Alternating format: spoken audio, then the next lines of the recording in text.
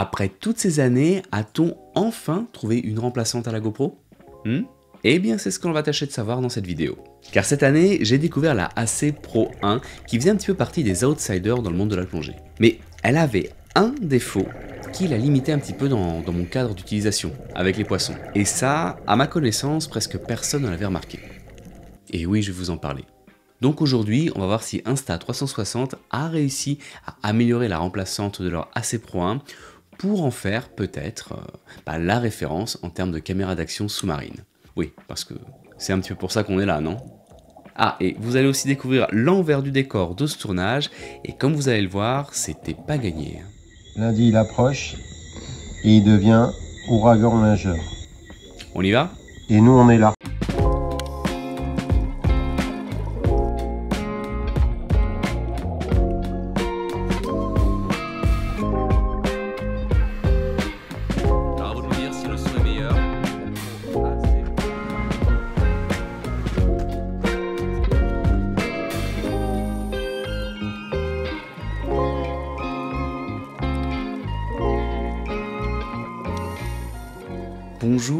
Chaîne d'Argonaut Plongée. Aujourd'hui, on va être dans un format Argonaut Pro, qui est un format où on va parler de matériel. En l'occurrence, on va s'intéresser à la dernière année de la famille des Action Cam, la AC Pro 2 d'Insta360. Mais avant de rentrer dans le vif du sujet, il faut que je clarifie quelque chose.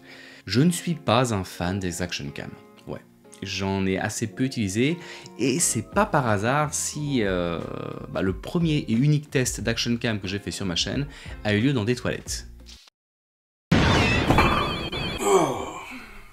Voilà le décor parfait pour vous parler de cette petite caméra. Euh, c'était une autre époque, j'avais pas encore bien fixé ma ligne éditoriale. C'est pourquoi vous en avez vu assez peu ici. Et surtout, euh, je ne me sens pas légitime pour vous conseiller un modèle en particulier. Parce que je suis pas fan et surtout parce que je ne les connais pas tous. Je, je les ai pas tous testés et ça change tous les ans. Donc le but, c'est pas de comparer les produits mais plutôt de vous partager mon expérience avec euh, certains produits de la gamme euh, AC Pro d'Insta360 et surtout mes premières impressions avec l'AC Pro 2 que j'ai depuis quelques semaines. En fait, dans le cadre de ma collaboration avec Insta360, j'ai pu tester euh, un modèle pré-série de l'AC Pro 2. Et le fait que ce modèle soit de pré-série est important, car certains aspects qui m'ont peut-être dérangé durant les essais et que vous allez peut-être voir en vidéo ont été corrigés par le fabricant. Cette vidéo est une vidéo en partenariat avec Insta360, car comme vous le savez, produire des vidéos sous-marines a un coût, et c'est très compliqué, comme vous allez le voir aujourd'hui, c'est pourquoi je ne suis pas le seul sur ces projets. Mais comme euh, lors de nos précédentes collaborations, j'ai conservé une totale liberté de ton, et euh, bah, les quelques critiques que j'avais à faire ont été faites. Alors, avant d'aborder toutes les nouveautés de cette AC Pro 2, faisons un petit retour en arrière pour découvrir mes premières expériences avec l'AC Pro 1 celle qui, va être remplacée. Et pour ça, on va partir en Martinique.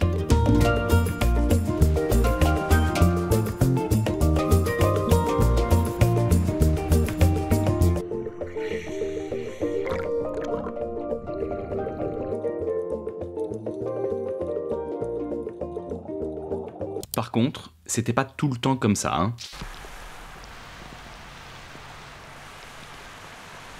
Alors l'AC Pro 2 reprend la même architecture que l'AC Pro 1 avec un élément marquant, c'est l'écran rotatif. C'est une caractéristique propre à la marque qui oriente cette caméra vers une utilisation vraiment vlog. Donc cette première caméra offre une qualité d'image correcte, même en basse lumière avec la possibilité de filmer en 8K et avec une excellente stabilisation. Là vous ne voyez peut-être pas mais je suis sur un scooter avec un équilibre assez douteux et pourtant l'image reste parfaitement stable, à défaut de ma dignité. J'ai utilisé la C Pro 1 avec diage plongée et elle m'a accompagné durant tout mon séjour, comme ici à 55 mètres de profondeur face à l'épave du Roraima, pour tester la résistance du caisson et aussi voir la gestion des couleurs à plus de 50 mètres de profondeur. Le rendu était selon moi très satisfaisant. Même en comparaison avec mon GH5, j'avais des images exploitables. Donc cette caméra n'a pas à rougir. Je me suis aussi intéressé à des zones très colorées pour voir comment le mode HDR se comportait dans un environnement avec euh, bah, plein de contrastes. Et à cette époque, je trouvais que la dynamique des couleurs HDR était euh, un peu trop contrastée pour le coup. Mais j'ai pu obtenir malgré tout des images exploitables à chaque fois, et comme nous allons le voir, l'Insta360 propose à présent des alternatives. Et rien que pour vous, durant ce tournage, j'ai aussi amené la caméra dans une vase de mangrove, hein, pour voir comment elle résistait à des conditions difficiles, avec une faible luminosité, et éventuellement euh, ce qui se passait si elle se prenait des coups. Ça n'avait rien à voir avec un ouragan qui a euh, tout foutu en l'air, et qui nous a obligés à fixer le bateau en urgence dans de la vase avec des vis sans fin. Hein. En tout cas, euh, j'avais avec moi plusieurs AC Pro 1 et grâce à l'autonomie de la caméra, eh j'ai pu filmer toutes les manœuvres, y compris euh, le moment où, en sortant de l'eau, surprise, nous avons vu un second bateau dériver vers nous et nous avons tenté, comme on pouvait, de le repousser à la main. Oui, on a fait ça.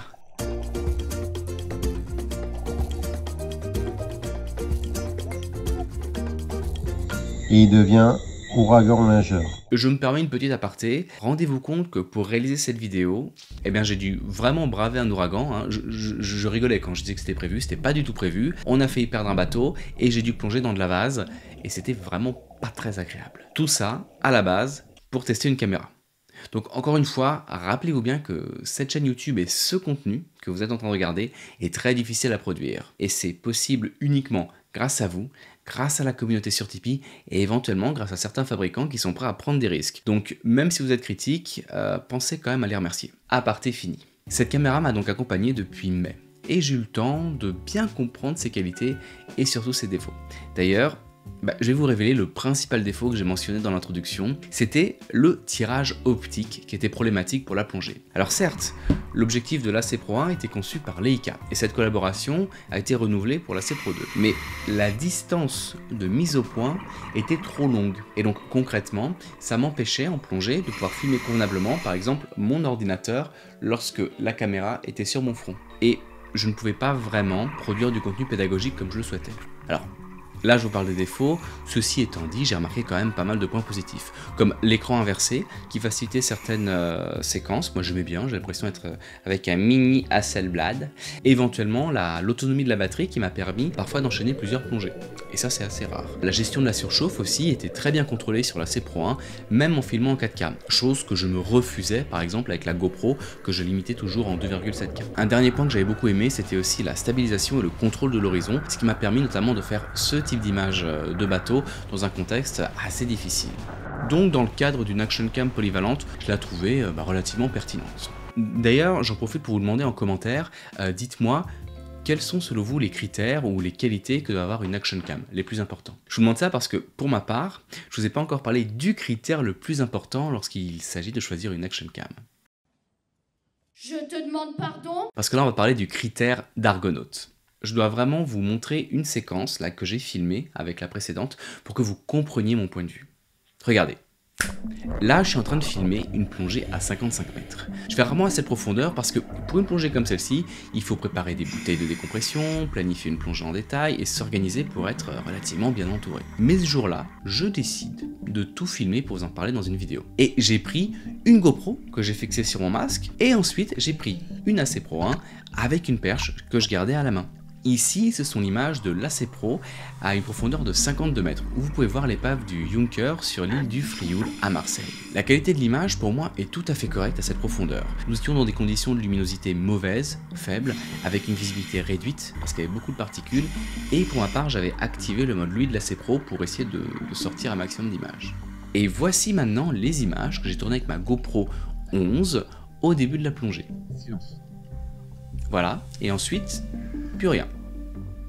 Et dans mon quotidien, ça m'est arrivé souvent, vraiment. Et c'est pourquoi, dans mes critères, la stabilité du logiciel fait partie du point le plus important. Autre anecdote, là sont des images du début de la chaîne YouTube, on était je crois avec euh, la GoPro Hero 10, et je voulais tester un caisson super haut de gamme pour les GoPro.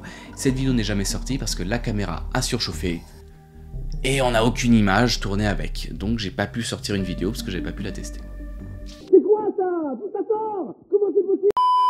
À titre de comparaison, ça fait un an que j'utilise les Insta360 X3, X4 et un petit peu l'AC Pro 1.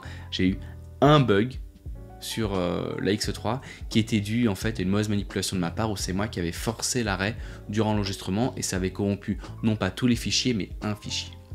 Tout ça pour vous dire que finalement ce qui compte euh, c'est la caméra sur laquelle vous allez pouvoir compter la caméra qui sera fonctionnelle à un instant T.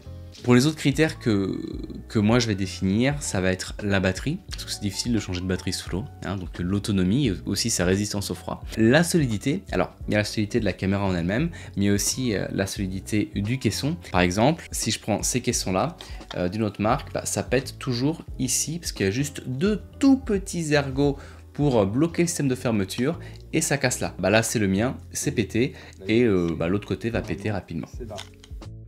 Enfin, Parlons maintenant de la qualité de la vidéo, ou plutôt de la qualité optique. Vous l'avez compris, la zone de netteté pour moi c'est très important, parce que je vais pouvoir filmer mes mains, je vais pouvoir filmer les signaux et éventuellement l'ordinateur. Alors pour illustrer ce passage sur les spécificités de la C Pro 2, je vais vous montrer euh, trois différents contextes où j'ai utilisé cette caméra. Le premier c'était dans le cas d'une formation, ensuite lors d'une plongée à 30 mètres et pour finir dans une grotte, afin de tester un petit peu la faible luminosité et les gros écarts entre la lumière le noir.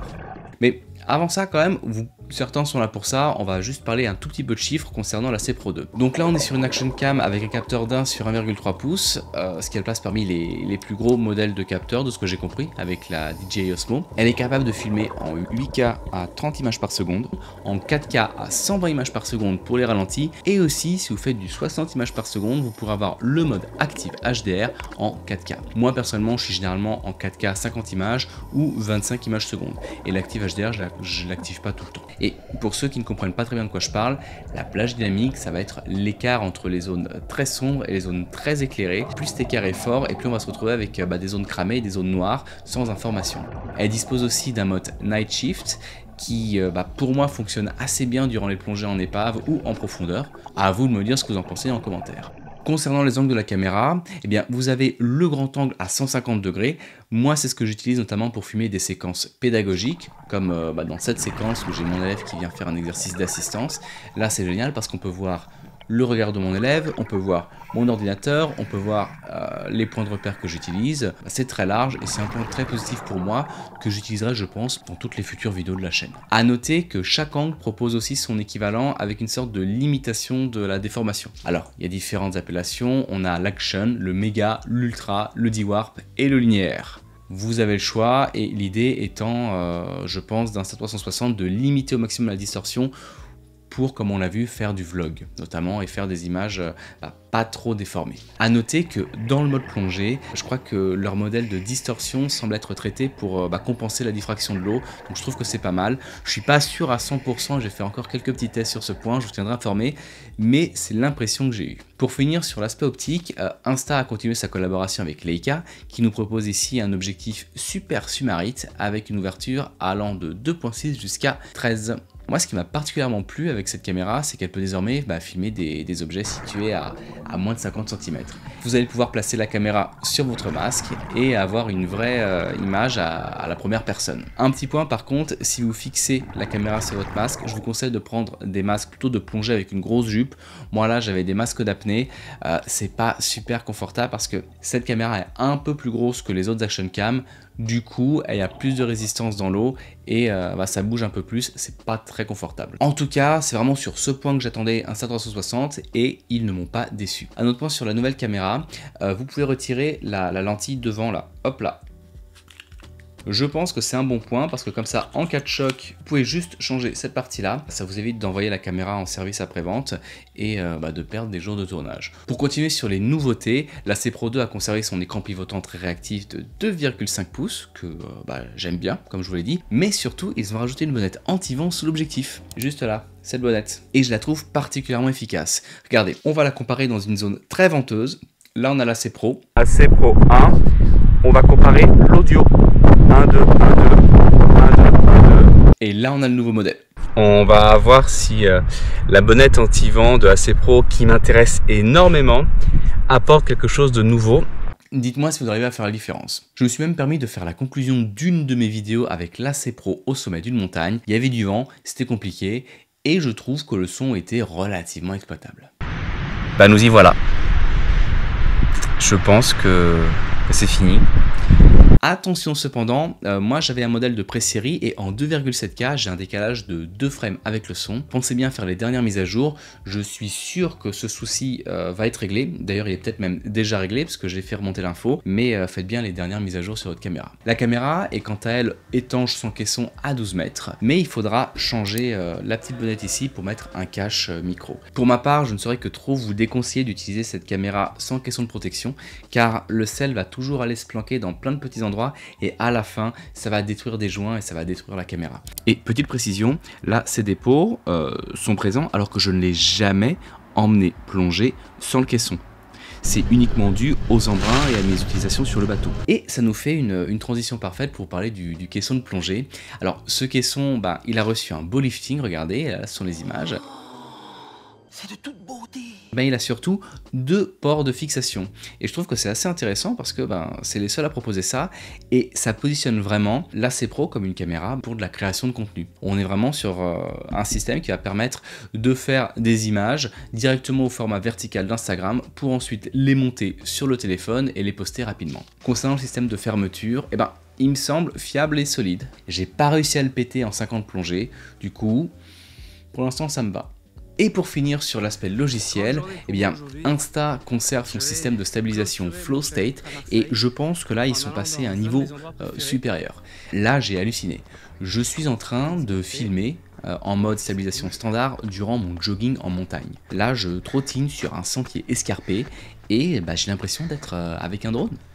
Et je pense que pour faire du vlogging, du travel, ou même pour faire bah, des images, moi depuis un bateau où ça bouge, et bah ça me permettra d'avoir une image exploitable. Dernier exemple, là c'est en mode non stabilisé, et là c'est en mode stabilisé. À vous de me dire en commentaire ce que vous en avez pensé, mais moi j'ai été bluffé.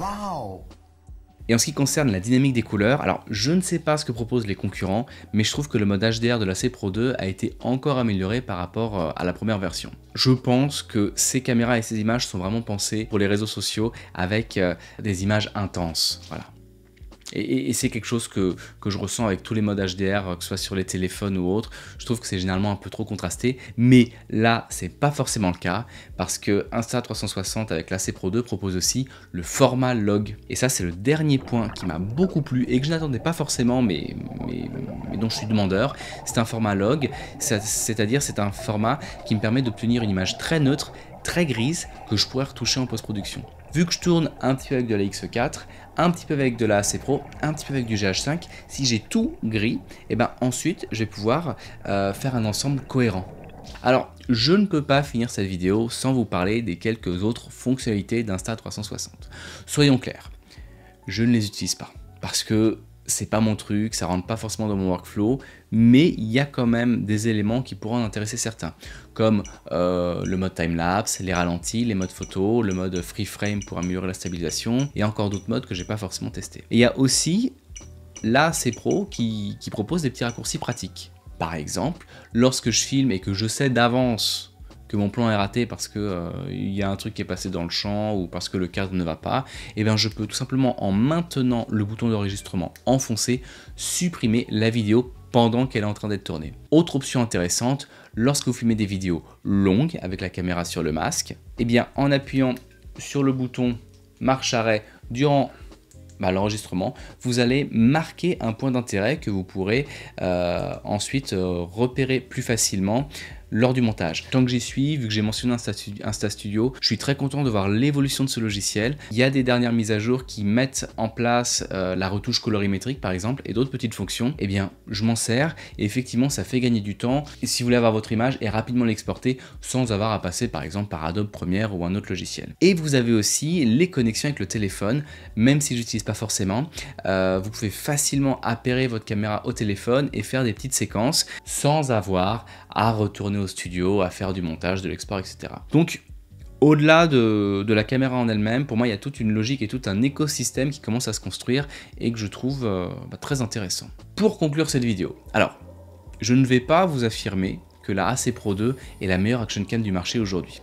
Car bah, d'une, j'ai pas testé tous les modèles, et de deux, j'ai fait 5 euh, plongées avec, ce qui est clairement pas assez. Par contre, je peux vous affirmer et oui, que je vais continuer à utiliser cette caméra, car elle répond pour ma part à tous les besoins que j'attends sur une action cam. Si je veux faire des plus belles images, j'utiliserai mon GH5. Si je veux faire des images avec des très très grands angles, j'utiliserai la X4. Mais si je veux faire des images compliquées dans des situations de merde ou bien des images vues à la première personne, eh ben j'utiliserai la AC Pro. Pour finir sur l'image, euh, je trouve que le niveau tirage optique de cette caméra bah, va me permettre de faire de la pédagogie. Donc vous allez pouvoir voir encore plus de vidéos. Et j'ai aussi été euh, bah, très surpris, en bien, par le micro réducteur du vent. Très bonne plongée et à vous de me dire si euh, le réducteur de vent, là, euh, la petite bonnette fonctionne bien. Si je devais mentionner éventuellement un point d'amélioration, ce serait la dynamique des couleurs en plongée. Je sais que c'est toujours très difficile et que ça dépend vraiment des goûts de chacun. Euh, moi, je vais avoir tendance à vouloir diminuer le bleu et avoir quelque chose de, du, le plus doux possible, mais avec le mode log, moi de mon côté j'ai plus de latitude en post-production, donc ça reste de mon point de vue exploitable. Ah, et un dernier truc que j'ai aimé et que seuls les plongeurs comprendront. Hop là. Avec ce système de trépied, euh, elle est lourde et c'est un bon point parce que je peux hop la poser au fond et elle pourra filmer s'il n'y a pas trop de houle et s'il y a de la houle bah, juste à poser euh, un truc un tout petit peu plus lourd dessus et elle bougera pas et ça c'est génial pour filmer de la faune et l'ensemble ayant une flottabilité négative et eh ben ça vous embêtera pas à vous revenir dans le visage là euh, non non. Le seul truc qui manquerait peut-être serait une petite boucle quelque part pour pouvoir fixer une mangrove. Une dragonne. On dit une dragonne. Une petite boucle pour fixer une dragonne. Maintenant, si cette caméra vous intéresse, eh bien vous trouverez en description de cette vidéo un lien vers une AC Pro 1 et un autre lien vers une AC Pro 2. Moi, je vous conseille l'AC Pro 2 comme vous avez dû le comprendre. Je n'ai pas encore d'offre spéciale pour le lancement, mais sachez qu'en passant par ce lien, vous permettez indirectement à la chaîne de vivre et vous donnez un message fort à Insta360. Vous leur dites que la communauté de plongeurs eh bien, aime le contenu vidéo sur YouTube, qui a un marché, et peut-être que euh, ça pourrait être cool euh, de filmer des grands requins blancs avec leur caméra. Je dis ça, je dis rien. Cependant, j'ai quand même une petite surprise pour la communauté Discord car je garde une caméra à vous faire gagner. Je vous en parlerai là-bas. Et promis, ça ne sera pas un modèle de pré-série, eux je dois les rendre. Donc si vous souhaitez nous rejoindre sur Discord, n'hésitez pas. C'est une des nombreuses contreparties sur Tipeee. En devenant contributeur, vous aurez accès à une chouette communauté sur Discord, avec des passionnés, avec des lives hebdomadaires, avec des replays, et surtout, vous permettez à la communauté et à la chaîne de vivre. Comme j'ai essayé de vous l'expliquer et comme vous avez dû le comprendre, euh, la production d'images sous-marines, bah c'est. C'est pas tous les jours facile. Ah ouais, mais il a... son mouillage, il est merdique, quoi. Ah, il arrive pas à Je vous remercie d'avoir regardé cette vidéo. J'espère vous croiser au salon de la plongée en janvier. Et comme toujours, on se revoit dans le bleu. Allez, ciao